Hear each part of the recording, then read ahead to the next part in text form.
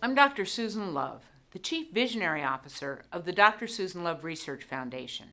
Our mission is a future without breast cancer, and we do that through innovative research into the cause and prevention of the disease.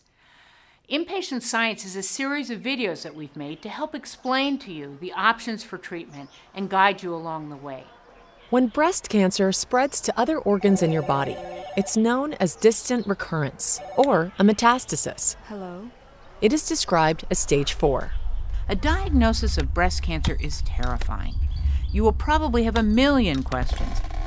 The best thing you can do is to learn as much as you can. While there is no cure for metastatic cancer, it can be managed. And with proper treatment, patients are living longer and have a better quality of life.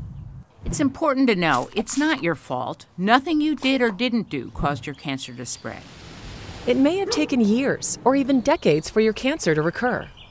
It's likely that some cancer cells left the breast very early on, and the ones that weren't killed by the immune system, chemo, or hormone therapy were probably dormant, hiding in other parts of your body. They can stay this way for a while, sleeping and harmless. But now they've woken up, so what can you do? The goals of treatment for metastatic disease are twofold control your symptoms and control the cancer cells for as long as possible. For that reason, you'll be working with your team over a long period of time. As research progresses, we are gaining more understanding of how metastatic disease develops and how to control it. Here, boy. As a result, metastatic patients are living longer and with a higher quality of life than ever before.